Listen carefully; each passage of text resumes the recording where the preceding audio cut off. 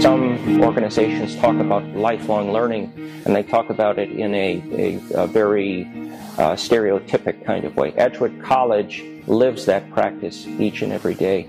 And I know in my 20 plus years in, in the two programs with, with which I've been affiliated, I could give any number of examples of instances where we have helped students achieve their, their dreams, better themselves, and open doors that they didn't uh, necessarily see open to them prior to affiliating with us. Edgewood has a fantastic reputation for being very caring and for being very communal.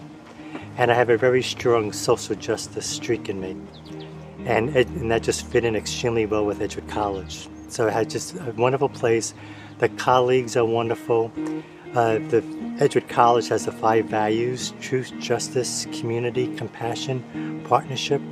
We take those values seriously, which is a very rare thing you'll see in academia, and we try to apply those values in the classroom. One of the things that drew me to Edgewood and has kept me at Edgewood is its commitment to its core values.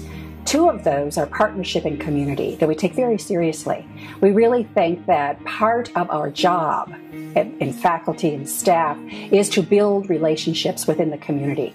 There's a number of activities going on in town involving the entrepreneurial community. So I try to stay involved with them because that gives me information about things I can include in my class, uh, examples I can give my students, connections and networks that I can introduce my students to. We have people from the community come in and talk to the students.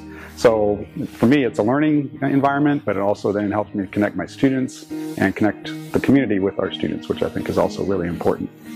In the 21st century, to lead is to serve. To serve, to, to be sure that the people that, that are part of your team are engaged, that they are empowered, that they reach their full potential by finding their full potential. That's leadership.